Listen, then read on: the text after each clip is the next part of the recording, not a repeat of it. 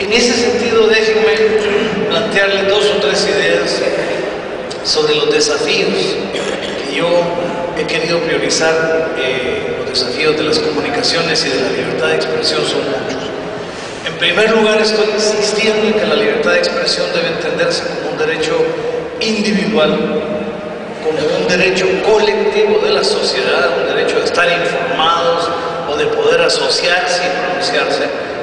un derecho de los pueblos. Es el derecho de los pueblos a tener una cultura, un idioma, tradiciones, valores, a reproducirlos y a trasladarlos al resto del mundo con medios propios de comunicación.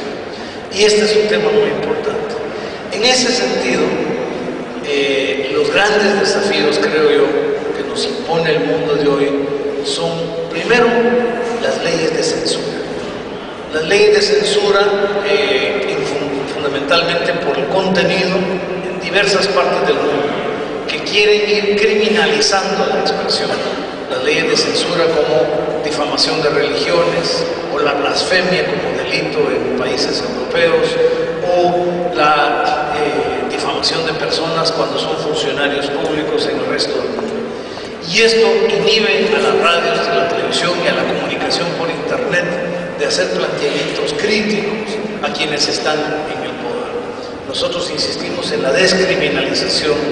de la libertad de expresión, incluso la utilización no autorizada de frecuencias radiales. En mi país esto se persigue penalmente y nosotros insistimos en que aunque sea una utilización no autorizada de una frecuencia, puede corregirse administrativamente por el Estado, pero no sancionarse penalmente porque no constituye un delito. En segundo lugar, es precisamente el tema de la persecución, la violencia física contra comunicadores sociales y contra las y los periodistas en el mundo. Eh, recientemente hice la visita oficial a México, el quinto país en el mundo de asesinato de periodistas y el primero en América, Honduras es el segundo, que y los cinco en el mundo era, empezaba por Filipinas, quinto en México y Rusia el sexto. Yo creo que es importante, importantísimo,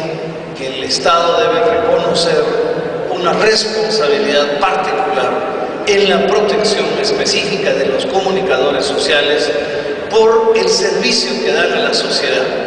en función de, ejercitar ellos un derecho individual de libertad de expresión, de comunicación, pero también por este servicio que dan al resto de la sociedad, de mantener a la sociedad informada, de que la sociedad ejerza su derecho a la información y el desarrollo de una opinión propia, el derecho a su propia opinión.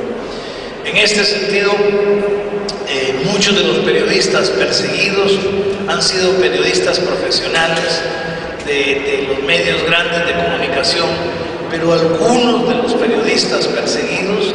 también han sido periodistas de radios y televisión comunitaria, de medios comunitarios a los que los incluye el gremio del periodismo con las mismas características y los mismos derechos de cualquier otro. Tenemos la experiencia del asesinato de varias eh, comunicadoras comunitarias en México, además del cierre de eh, violento por la policía